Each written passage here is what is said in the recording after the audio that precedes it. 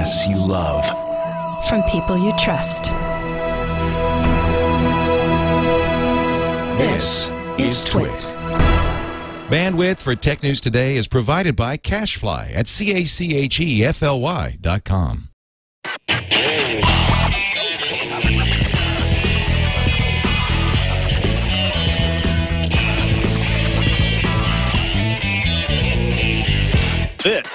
Tech News Today, Friday, April 29th, 2011. Happy birthday to my sister Meg. Tech News Today is brought to you by FreshBooks, the easy online invoicing service that gets you paid quickly and makes you look professional. Get started with a free package at freshbooks.com. And by Trim Tonic, a natural appetite suppressant tonic that makes the edge come off of being hungry. Visit www.trimtonicwithaq.com for more information and enter the coupon code TWIT for a 20% discount. Welcome to Tech News Today. I'm Tom Merritt. I'm Sarah Lane. And this is the show where that's it. Yeah. I, uh, Thanks, everybody. Say hi there. I, you know, I should have said, and Okay. I'm Sarah Lane, but I'm just used to. I'm in a different. I'm in Tom's chair. It's like bizarro world around here. It is. Uh, first of all, Iyaz Akhtar, did help uh, uh, pick stories for the show, did a lot of work on the show today, but he's feeling a little under the weather. Uh, so he's in the chat room. We told him not to speak, save his voice. Uh, but uh, we do have Veronica Belmont with us today. Thank goodness. Hello. Raise the That's my roof. best. That's my best Queen Mother imitation. Well, Hello. nice wave.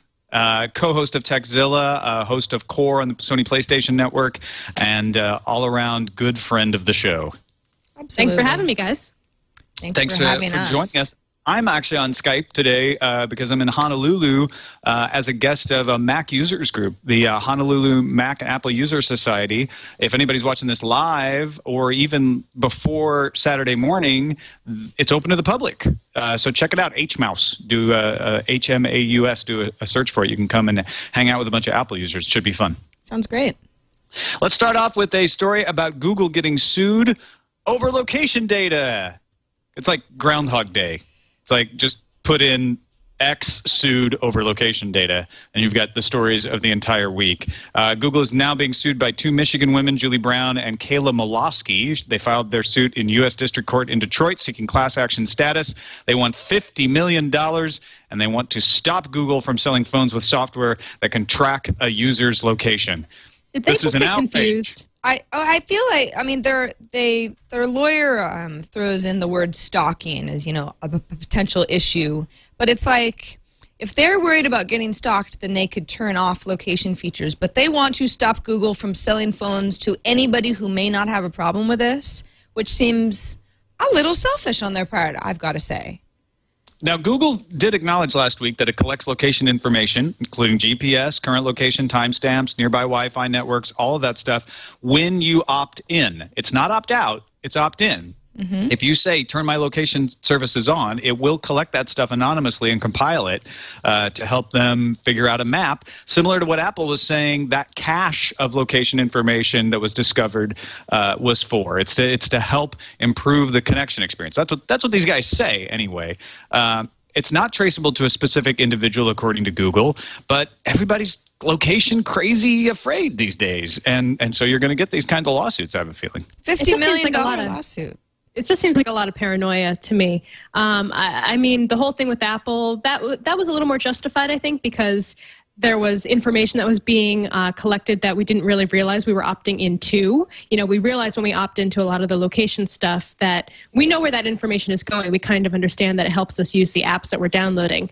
Um, but for this one, it is all opt in. There doesn't seem to be any kind of weird secret information that's going out anywhere. So, do you think they have any kind of case here? I don't think so, unless they can either. uncover something that we're unaware of. Uh, where Google is collecting information without the opt-in. Let's say you you say no, and there's still some information that gets collected. Uh, otherwise, I, I can't see they have a case. But that isn't stopping the fear from spreading. Oh no. Uh, Representatives Joe Barton and Edward Markey of the U.S. Congress have asked the four main U.S. wireless carriers to explain their policies for collecting and storing data. When did you stop tracking people? Uh, the carriers all have said they seek subscribers' consent before tracking their location, but they said, hey, we don't make third party apps. Third party apps track people is not our fault. This is why we wanted to be in control of everything in the first place. You start letting openness happen and people just putting any kind of app they want on their phone, you're going to get this kind of stuff. It's funny. Representative Markey says, uh, despite the carriers saying, "Listen, uh, you know, we don't sell personal information. We request customer uh, consent before we before we access location data. Always." He says, and this is kind of indicative, Veronica, of what you're saying. Is it's just it's, it sounds like a lot of paranoia. He says, "Well, I'm still just felt with, with a feeling of easing, easing, uneasiness and uncertainty, and and people need to be held accountable." Which is like it No, just sounds like you be- don't you know people need to be educated. Yeah. About exactly what you're opting into and what services you're using that are tracking your information. If you say yes, that's what it's going to do because that's how the application works. Um, like I said, the Apple thing, I, you know, I don't even really remember how that was. What did Steve Jobs say? Like, no, we're not using this at all, but that information is just there anyway, but some one guy did it, or I don't remember what his excuse was, his silly excuse. For the for the cached information, you mean? Yeah.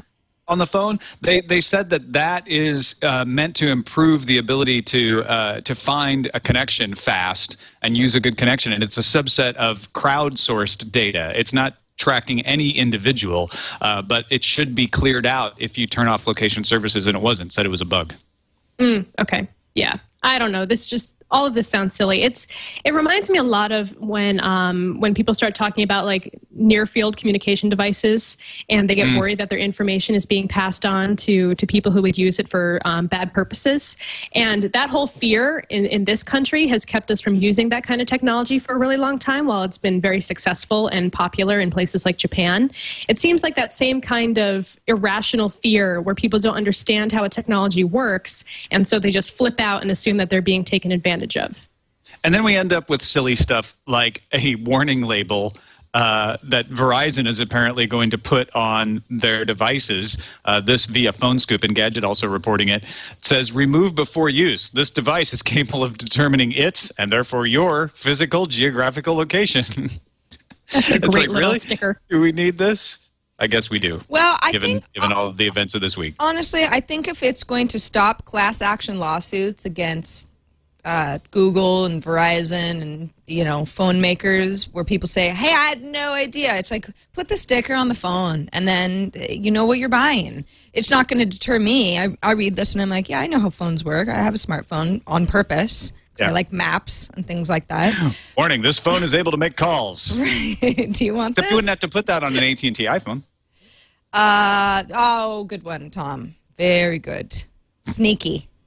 The chat right, room's uh, already mad because I said it was Steve Jobs' silly excuse. Um, Uh, it was kind of, you know, I don't know. It could have been worded better, in my opinion. In your own opinion about yourself, my, you've already said you've personal- already no, sent yourself his email his about it. way could have been worded a little bit better. But anyway, She's fine with the way she worded it. I'm fine. Oh, I can see, say what I see. can say what I feel like. I'm I'm drunk on kombucha. It doesn't matter. All right.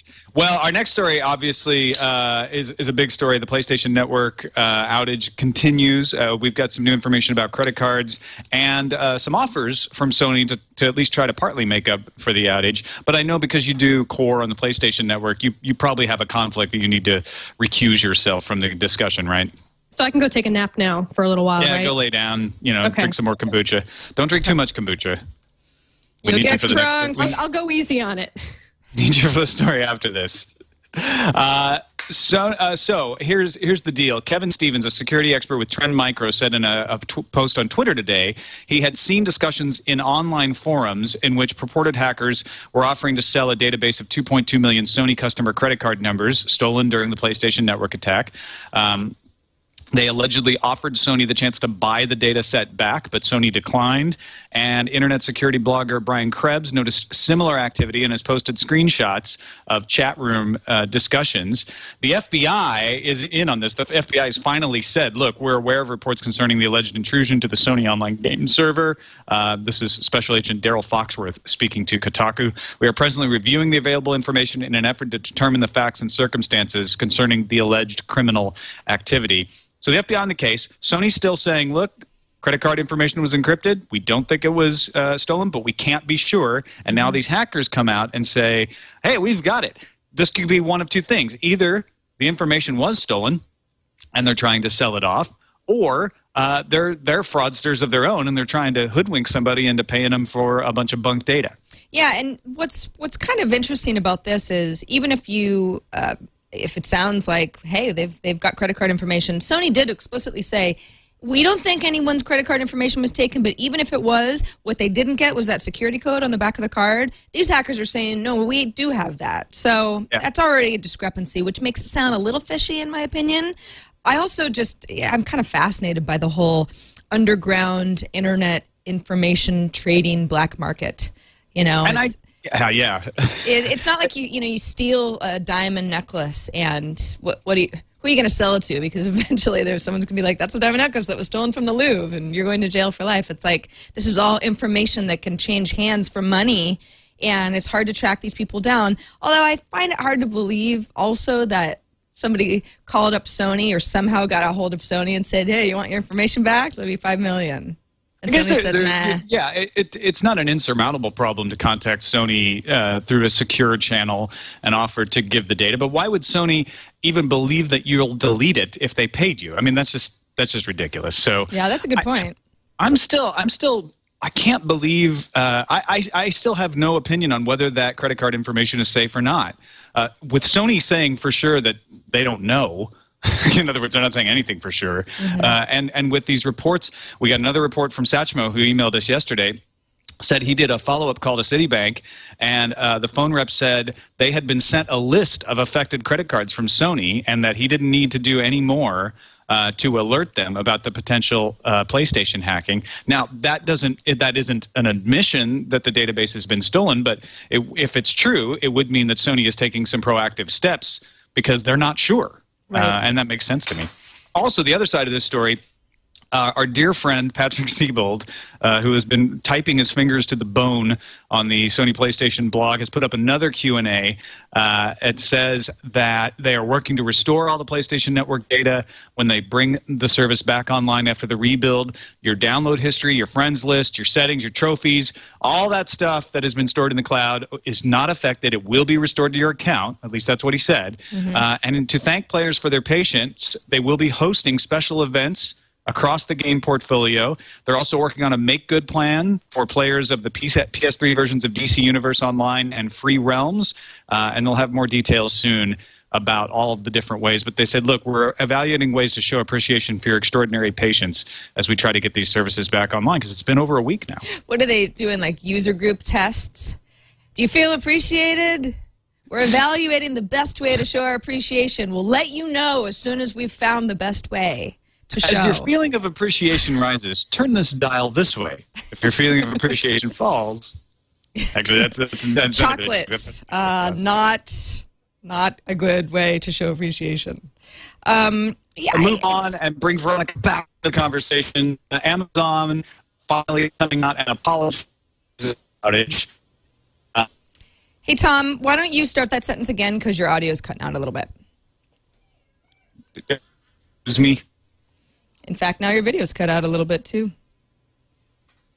See, you only, Okay, now you see, yeah, you seem to be back now. Oh, maybe. I think I- you're. I think uh, I think Eileen must be downloading torrents. well, She's she's been torrenting She's like, she's like, again. no, I'm not doing anything.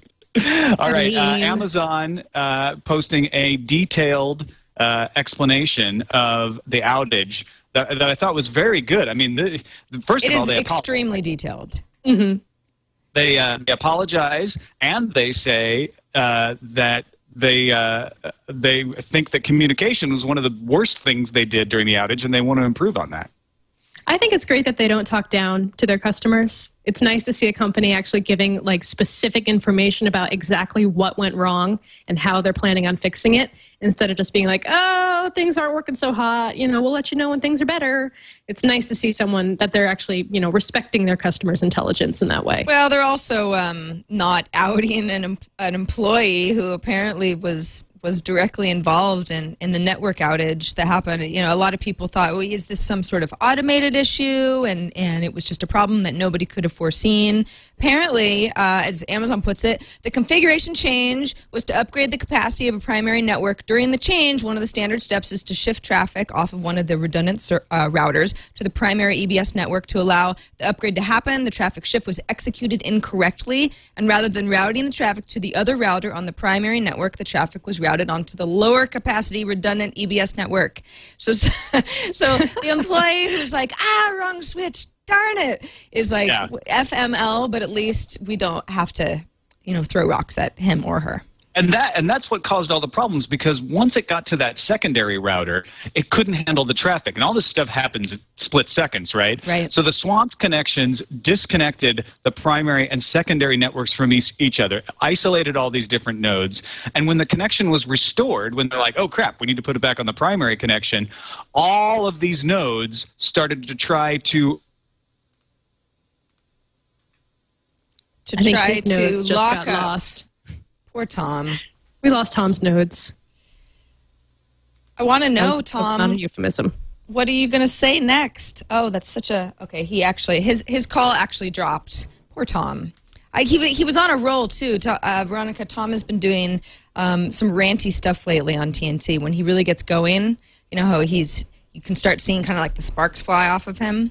Ah, well, I'd feel more bad for him if he weren't dropping his calls in Hawaii right now. Yeah, exactly. Poor Tom. Well, that actually is uh, something that that Tom isn't uh, very happy about. He almost hates to travel because you're of this sort trying of to thing. reach So uh, while while we're trying to get Tom back onto the show, uh, Veronica, it sounds like you have a lot of respect for the way that Amazon handles not just customer service in general, but things like outages and confusion. You know, some people have have um, taken them to task a little bit for um, not coming out with this information sooner. I mean, uh, you know, Sony, Sony's going through the same stuff right now, but they certainly have, um, I think, given us all the information that they could possibly ever tell us and then some. So Oh, definitely. Yeah, it's it's it's kind of a Hodgman. More information than you could possibly require, I guess, in some senses. Um, but I do think that it's good that they're getting all that information out there at the same time, kind of putting it together in one cohesive place where people can go and read and figure out what's going on.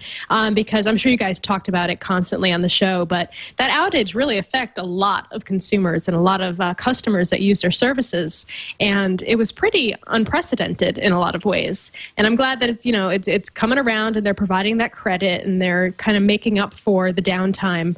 Um, so I say good on good on Amazon for that. All right, well, we're trying to get Tom back on the show. We should take a moment to thank FreshBooks.com. Veronica, you said before the show that you had not heard about FreshBooks, so get ready to be impressed because if you are a consultant uh, or for whatever reason you need to invoice a company, you need, you know, you've, you've done some work for them and you need them to pay you. Well, there's a process. Company has to have social security number information and, and what you're charge, uh, what you're charging them, and and a variety of stuff. And that can be really cumbersome, especially if you're handling more than a few jobs. FreshBooks.com is the way to invoice professionally with a variety of companies. There's no limit on how many people you work with. Um, if you don't like invoicing, and trust me, if you've never invoiced on a regular basis, it's really not that fun. It's Yeah, like you, doing you don't your- like invoicing? no, Not a, no. not a big fan? No, it's like doing my taxes all year long. I mean, I like getting money, but the process of getting money can be very cumbersome. FreshBooks.com will do all of that for you. Um, there's a variety of ways that you can hook up with companies to get paid. You know, PayPal, credit card. You can even have um, your your invoices snail mailed to the company and and and uh, your money sent back if that's the way that either you or they prefer to do business freshbooks is really really flexible in that way. And they make your they make your invoices professional. They also will um, they'll help kind of you know strong arm the folks into to paying you if you're uncomfortable doing that yourself because that's not a conversation everybody likes to have. Freshbooks will um, they can um, they can set up with companies to to bill you hourly so they can actually keep track of the the work you're doing so that you can be paid and it's all there. It's all you know in a nice spreadsheet. It's nothing that you have to think about. They can also remind companies hey you know it was due on october 5th friendly mm. reminder from freshbooks kind of thing. And if you have three clients or fewer that you're working with regularly, it's free. You can use FreshBooks.com, absolutely free, and the prices are really reasonable uh, for folks who actually do a lot more uh, work with a variety of clients and maybe have 10 or 20 or 100 or whatever.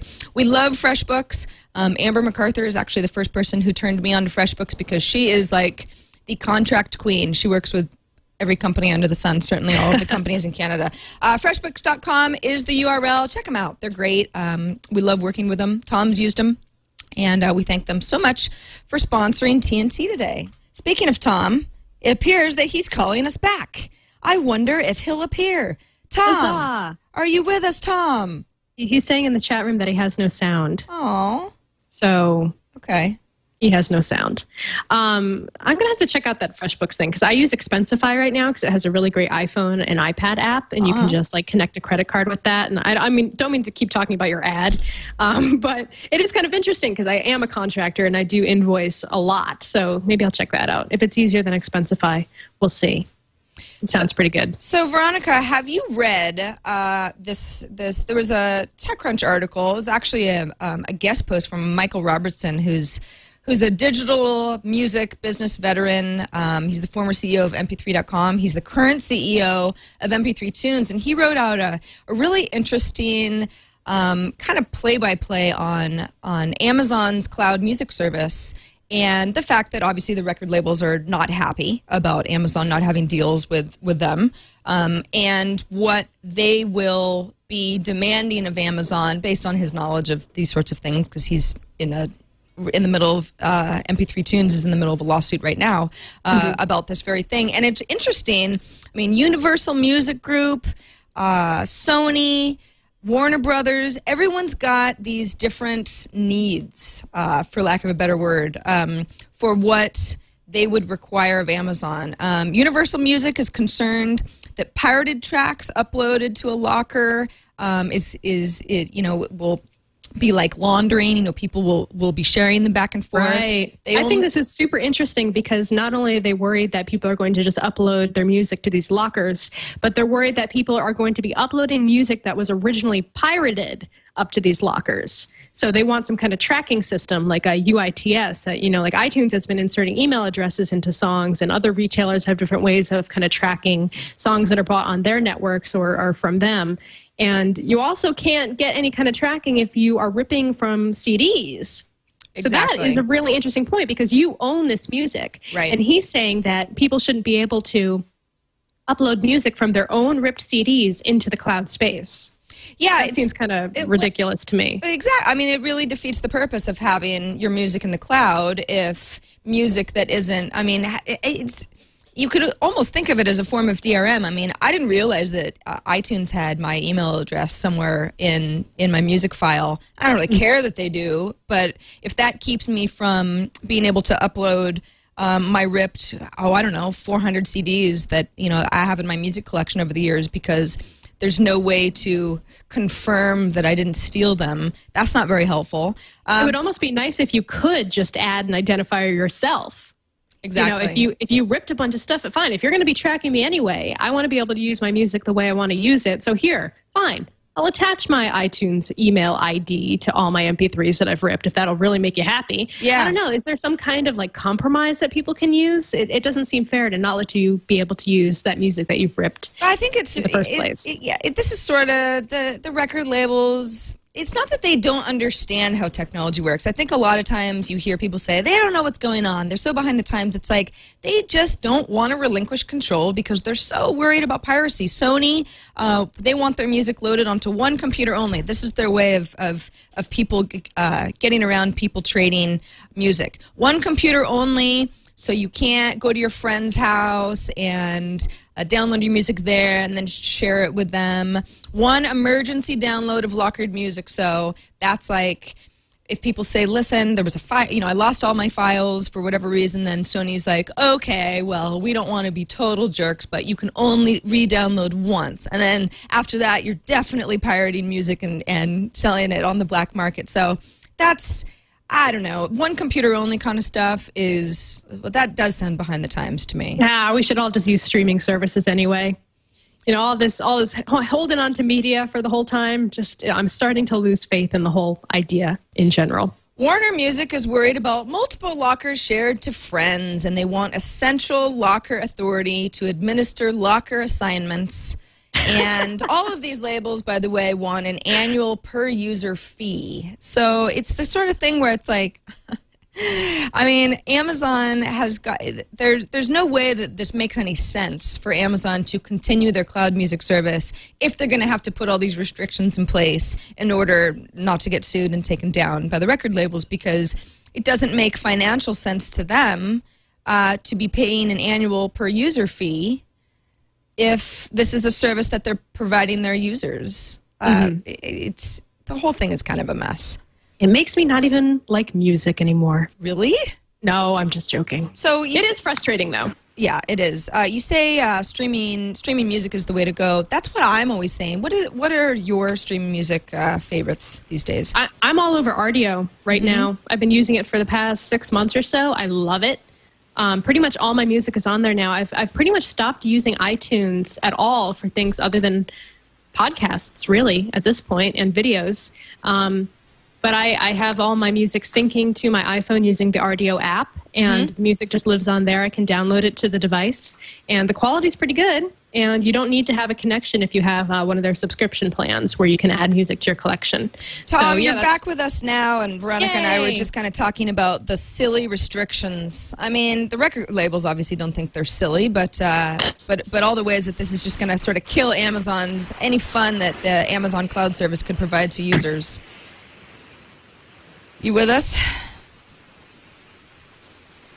I don't I think you see can hear him. us. No, it's it's not even just about that. I, I, can you hear me? Yeah, we can hear you. I think there's just a lag. You're, you're laggy McLagerson. Okay, yeah. So my Oh, God, he's Oh. horrifying looking. yeah, the, it looks like WiMAX went out in Honolulu because I have two 4G connections that are gone. oh wow. Uh, so you might want to just put me on uh, audio only. Let's do that. Not that we don't want to see your beautiful face, because we do, but we'd uh, we'd rather hear your expert opinion. Uh, yes. Anyway, we probably probably spent too much time on this story already, but essentially, this is just uh, the. In fact, if you want to hear an explanation of this, watch our triangulation episode with Michael Robertson, who wrote the story for TechCrunch, because he explains what's really motivating uh, the music industry to do this sort of thing. They actually do get it, in his opinion. They understand that this is ridiculous and this is not the way the internet's meant to work, uh, but they they want to use it as leverage. They want to make money and they feel like if they can get the law on their side and force ridiculous analogs to old-fashioned physical behavior to exist in this idea of like oh you can only have one copy of a song in one locker even though everything's infinitely copyable then maybe we can uh, we can actually get all of this stuff to work Absolutely. let's move on to uh, microsoft Let's, yeah, let's move on to uh, Microsoft. Uh, biggest one-day fall since 2009 almost happened. It rallied again at the end, uh, but Microsoft, after their uh, positive revenue, beating analyst expectations, making money, down three percent, twenty-five dollars ninety-two cents a share. Uh, Apple now rakes in not only more value. Apple we, we knew was the most valuable U.S. tech company at 321 billion. Microsoft second at 225 billion. But now Apple rakes in more in sales and net income. Microsoft posted net income of 5.2 billion. Apple recorded, reported net income of 6 billion. You know, it's funny. Just yesterday, we were talking about. I mean, you were pretty excited, Tom, about App, or Apple's Microsoft's earning call and how they beat analyst expectations and everything's on the up and up. And you were you were kind of uh, curious as to why Iyaz and I were like, yeah, but but um, it's it's funny how the you just throw a bunch of numbers together and you change your story and the whole thing's different now. Microsoft's down, Apple's up. What happened to to, to their great earnings? So it sounds like the Xbox actually. Um, what what's the deal with the profit margin with the Xbox? Is it too expensive to make, and they're not selling it for for high enough to make up that difference? Bueller.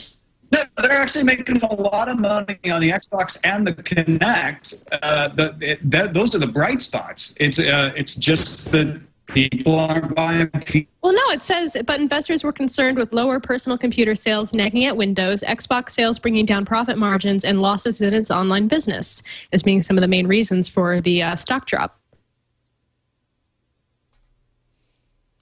Tom, you there? Oh boy, did we lose Tom again? Oh, we did. Oh, Tom, No! no.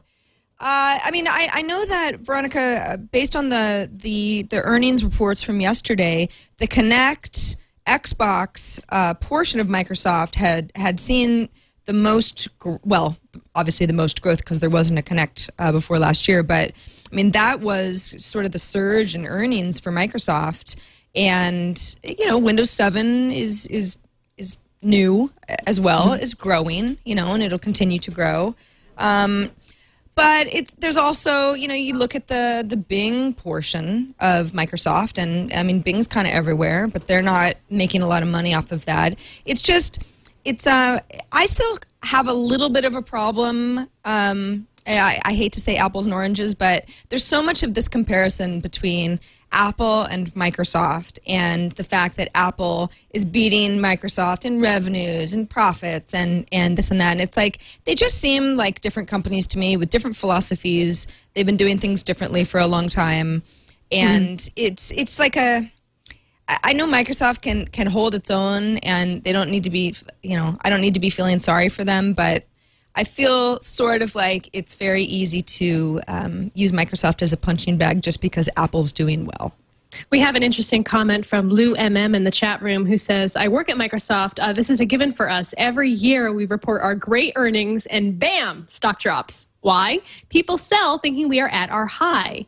And then he went on to say, where's his second half of his comment? Um, he says, Win 8 is coming, Xbox, Win, Win, Windows Phone 7, and more and more and more. It never stops apparently the better things get, the harder the stock falls during the earnings call. Tom, are you back with us? I know you really want to go to the beach, but we still have some show to do. no? I thought you said he was back, Alex. No? We can't hear you, Tom. that face in the picture is classic. Yeah. Yeah, that's actually I would like to say that that's the face that he would actually be making right now, but I think it's probably a little bit angrier. Yeah, that, I think that's our picture from uh, Dragon Con, a panel at Dragon Con, but I could be wrong. Oh, yeah. No, that, that sounds about right.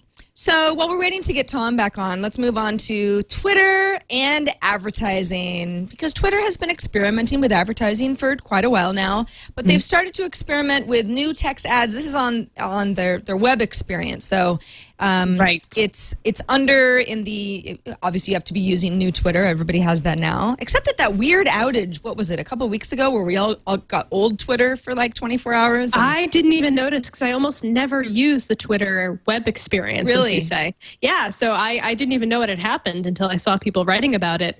I thought that was kind of funny. Um, yeah, this is cool it's interesting. I don't know if cool is actually the right word.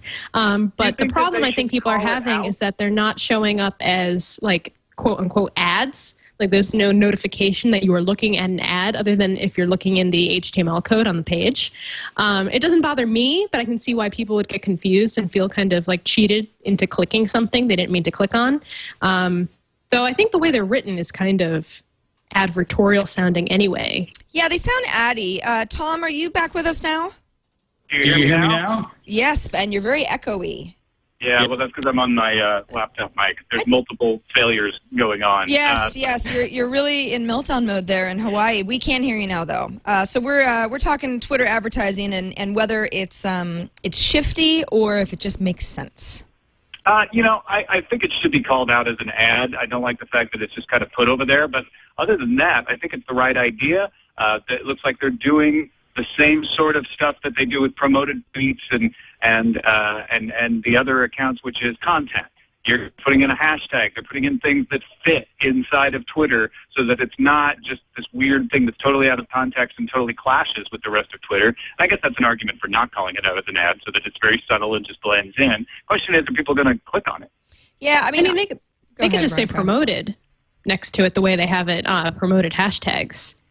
Yeah, I think that their reasoning for why they're not calling it out as an ad is that they're under the um, the uh, what's the word for them? The trends, the trends area. So at the top of the trends, we're all used to a promoted tweet that's at the top of trending, which you know, they say promoted next to it, but I think that they kind of go, well, it's not right at the top, so we're not really lying to anybody. It's down at the bottom. It kind of seems like part of trends, but it's actually an ad space. And yeah, I'm with you, Veronica. It looks like an ad to me. And I'm sure that some people will be confused and click on it by accident, wondering if there's something going on, uh, and and and perhaps realize, oh, this is some sort of um, paid for experience. But that happens on websites and has been going on for quite a while. I mean, people have ads in the middle of blog posts that are confusing to me. I know that Google ads require you to label them as such, but people have very creative ways not to do that or to label them in a way that that I don't know makes it look so much like the site that you actually don't know the difference. So this is this is Twitter. They're trying to make money. I think that we can only expect more of them to at least experiment with this. We know from the Quick Bar that if it's upsetting enough and people complain loudly enough, then it then it might go away. But they're not going to stop trying to make money. So I think I, we I didn't even have remember what the quick it. bar was actually called until you just said it right now. Yeah, I I I prefer the alternative, Me but too. you know it's a family show and all. Family show. All right, let's get let's get on to uh, the biggest story of the day in the world. Yeah. Frankly, uh, you, I, I know everybody was paying attention to this. Uh, she was dressed all in white. Uh, most people thought she just looked beautiful. Oh, she was gorgeous. But sadly, she's a little fat. Fat. Wow, you think you think so, Tom? Gosh, I I wouldn't have said that. Why would you say that? Uh, we've seen that- the measurements. She's definitely a Well, little yeah. fatter. The the new one is 0.2 millimeters thicker than the black one. And we're talking about the white iPhone, right? Oh, yeah, no, of course. Yeah, we're Yeah. talking about the white iPhone. Yeah, Uh-huh. Yeah, that's and what I was talking about. There's this big controversy now that cases that are very tight, that have tight tolerances, may not fit the white iPhone, even though all to- all cases are supposed to work on all the iPhones. That's interesting. I haven't had a chance to. I haven't seen the white iPhone. I didn't go to the Apple store yesterday, but um, I have a case that I love, um, and it's really tight on my iPhone 4. So there is no wiggle room. So No, yeah, I agree with you. I use the Incipio Feather. Sorry to interrupt you. No, it's Um, okay. And it's it's also it's very very close to the to the to the lip of the phone there, and I feel like that extra bit of of stick outness in the white iPhone's um, you know burgeoning waistline is um, it would make a difference and not only the protection of the phone but also just the fit in general.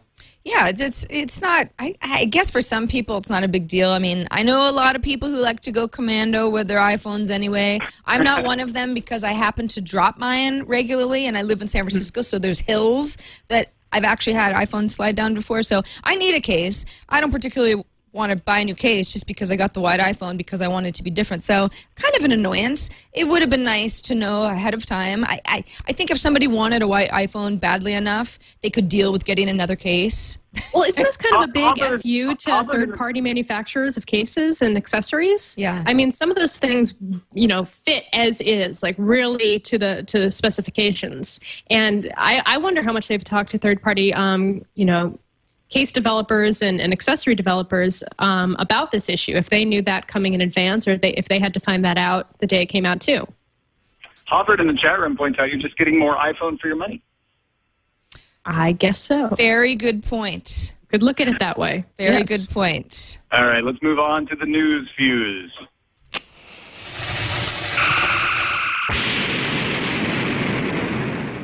Ah, the royal wedding. We couldn't uh, get through without some acknowledgement because it set a couple of live streaming records today. Livestream.com said it had over 300,000 simultaneous viewers, which is a record for them. An Akamai representative also said that the wedding beat the 2010 World Cup for most concurrent live streams. Every big live streaming event seems to beat the previous big live streaming event, but uh, it looks like a lot of people were watching the British royal family. In fact, probably more people cared outside of Britain than cared inside of Britain, from what I can tell.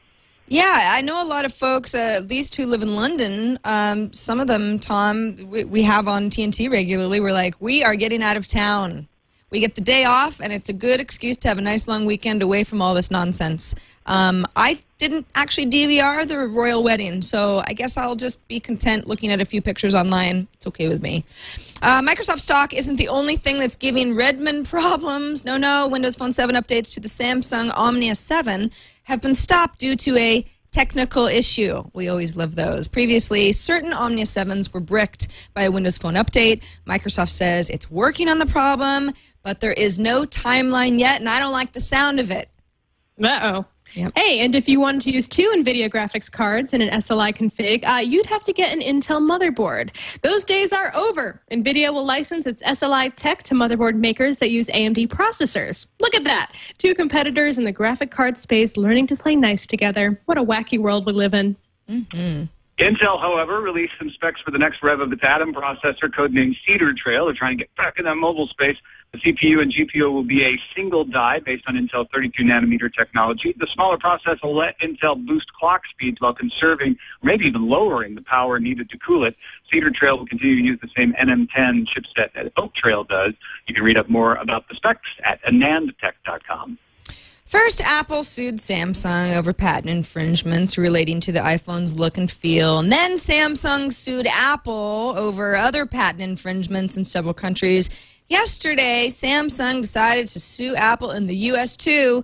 And this lawsuit revolves around, may I have a drum roll, please? Patents! Patents! Samsung says it has a patent on surfing the web while being on a phone call. That's our patent, which is something that, of course, the GSM iPhone also does. It's kind of what AT&T has going for it. This legal battle is starting to look like a scene from, you know, uh, like a Tarantino movie where everyone's just pointing guns at each other. Who will shoot first? I don't know. They're all going down. They're all going down. And uh, speaking of Apple, Apple has begun adopting the iCloud name within several products currently under development, suggesting the appropriately labeled moniker is indeed the frontrunner for the company's soon to debut internet cloud service. Uh oh, we've been talking about that lately today.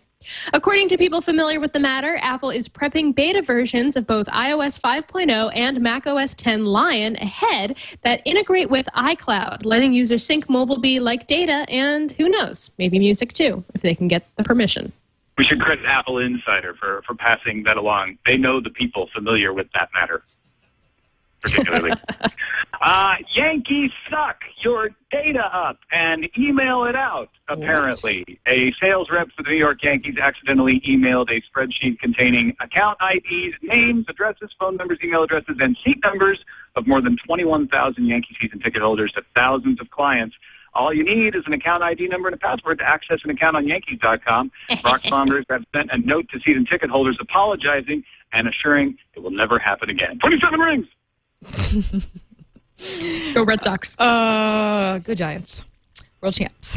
Uh, Jeff Moss, a prominent computer hacker who founded the annual Black Hat and DEF CON security conferences in Las Vegas, has been hired as the chief security officer for the organization that coordinates names of the world's websites. The domain name system has been in need of a security overhaul, and Moss can have a positive effect on those discussions. Moss also serves on the U.S. Department of Homeland Security's Advisory Council and will start his gig on Friday, today.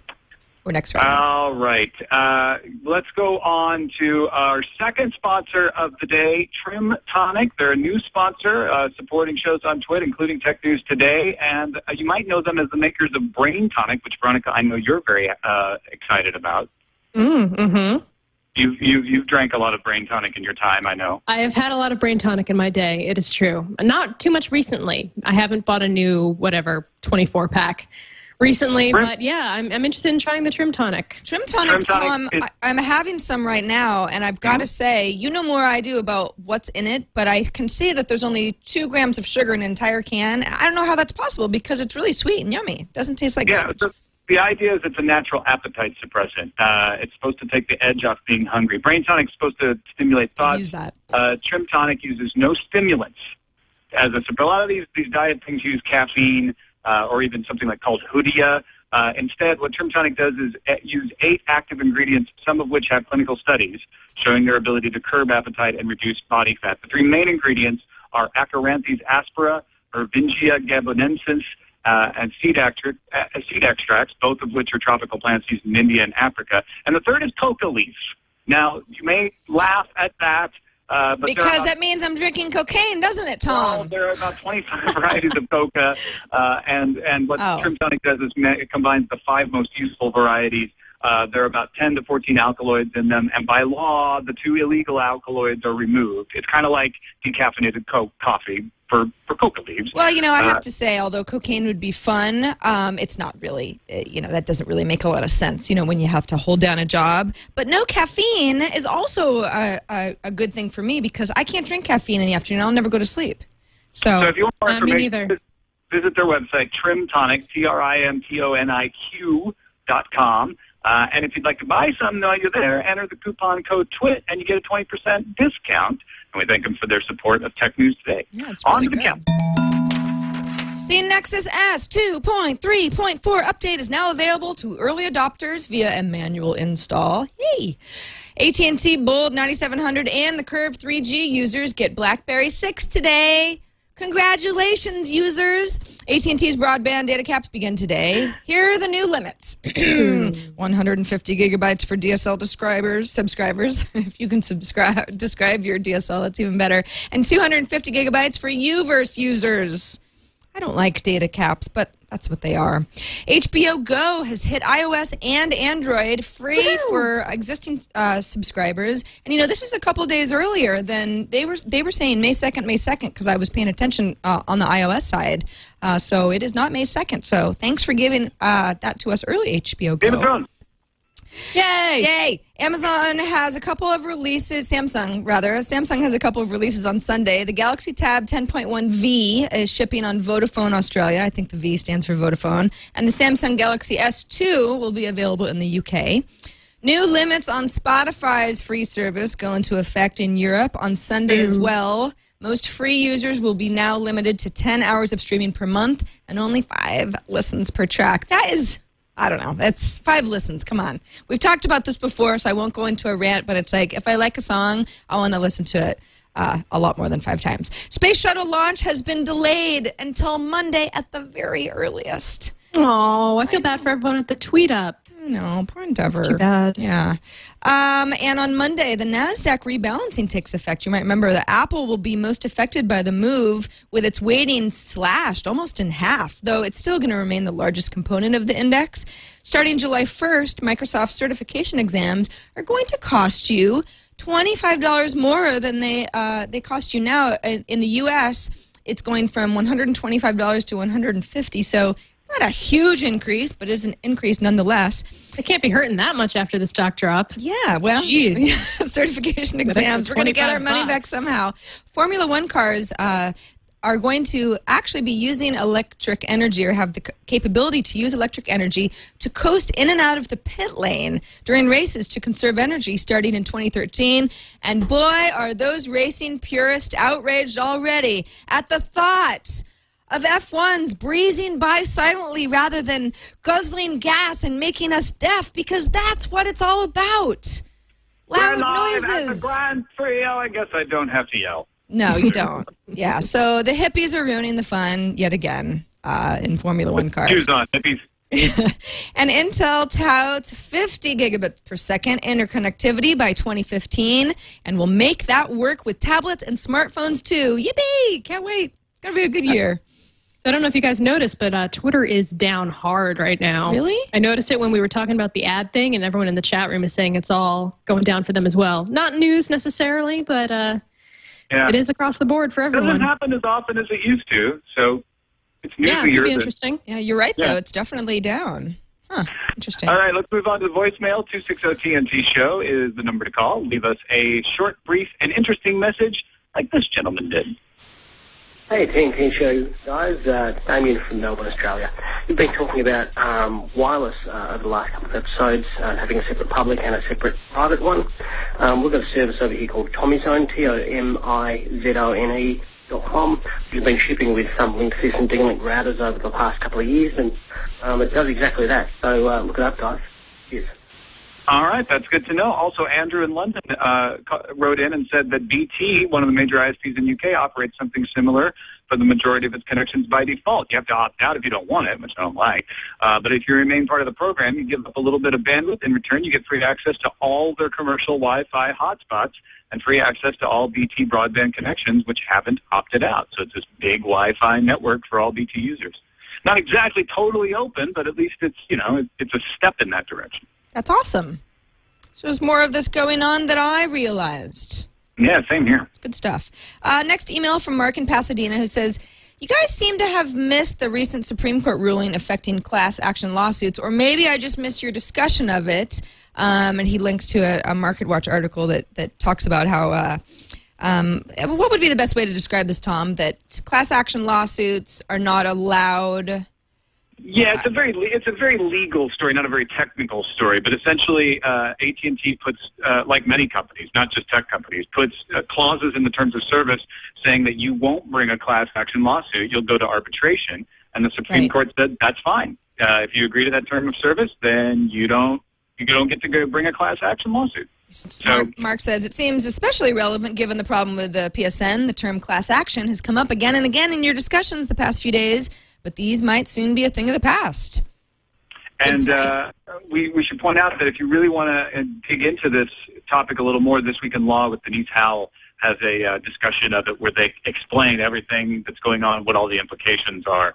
Uh, you know, class action lawsuits often get a bad rap for being frivolous, uh, but this actually really undermines the ability to punish companies uh, for things that are really bad. So that you know there is a place for a class action lawsuit, and this kind of throws the balance uh, the other direction.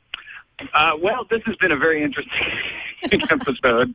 Uh, th- thanks for uh, keep on keeping on, Tom. Hey, no, You're a really good to you and sport. Veronica for uh, for covering through the middle of the show. You guys are pros. It, it was it was awesome. Hey, no problem. We're we're happy to help. I just want you back in the studio. I don't like it when you're not here because you make me feel weird. I have to sit in your seat, and it's like you know, I feel like I should grow a beard or something. It's just weird. seat, you know. Oh, dude, I had to host uh, Tekzilla last week while while um, Patrick was away, and I had to stand on his side of the desk. Ugh. That was weird. Yeah. I felt like everything was backwards. I was in some kind of crazy mirror world. it was uncomfortable. Well, thanks for being on our show today, Veronica. We Thank always you for love having me as you. always. Yeah, and let folks know uh, about the stuff you're doing uh, and and where they can find it. Sure. Um, I am on uh, the PlayStation Network on Qore every month, and uh, if it comes back up again, and uh, Tekzilla every week at Tekzilla.com. All my stuff is linked to from about.me slash Veronica. And Sword and Laser. And, and oh, it's go- oh, right. There's another there's another show at swordandlaser.com that I do with you. All right, thanks everybody uh, for watching and listening. I will be back in the studio on Monday. Hopefully uh, things will be smoother then. Twit.tv slash TNT is our website, and you can call us 260 TNT show or email us TNT at twit.tv. Really, thank you for listening or watching. We'll talk to you Monday.